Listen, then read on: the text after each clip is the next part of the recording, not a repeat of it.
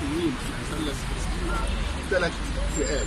فئة قبلت إنها ترجع تاني المكان عايزة ترجع تاني المكان ودول ادالهم 40000 ايجار لثلاث سنوات وبنديهم عقد إن هم هيرجعوا في نفس المكان. آه، في نوع تاني عايز تعويض النادي ودول ادالهم على كل وحده سكنية حسب عدد آه، آه، الاوضه بتاخد 40000 حتى الصالة بتبقى بالإضافة لكده بعد ما نشوف حساب الشقة كان بيديهم 60000 بدل الحال النوع الثالث اللي هم طلبوا يروحوا الأسمرات.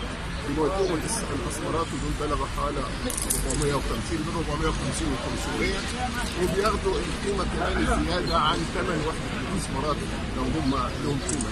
ماذا بعد إزالة مثلث ماسبيرو هل في خطة؟ مشروع معمول وان شاء الله هيعلن عنه قريب لأن هو كان نتاج مسابقه عالميه تمت حوالي وزاره الإسكان بتدققه بتدققه بالشكل النهائي وان شاء الله هتعلن عنه قريب.